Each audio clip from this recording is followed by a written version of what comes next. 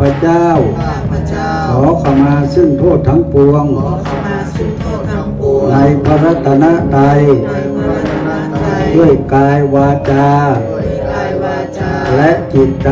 และจิตใจตลอดชีวิตตลอดชีวิตอะหนึ่งอันหนึ่งข้าพเจ้าข้าพเจ้าจะบูชาด้วยการปฏิบัติตามจะบูชาด้วยการปฏิบัติตามศีลสมาธิศีลสมาธิ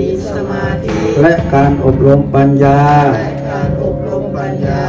และได้ถวายเทียนและได้ถวายเทียนแด่พระรัตนตรัยแด่พระรัตนตรัยณวัดศรีสุพรรณแห่งนี้ณวัดศรีสุพรรณแห่งนี้ ด้วยจริยาดังกล่าวนี้ด้วยจริยาดังกล่าวนี้ ขอข้าพเจ้าขอข้าพเจ้า จงเป็นผู้ปราศจากจงเป็นผู้ปราศจากอันตรายทั้งปวงอันตราย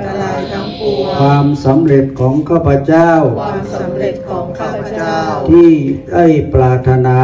ที่ได้ปรารถนา ขอสำเร็จด้วยเถิดขอสำเร็จด้วยเถิด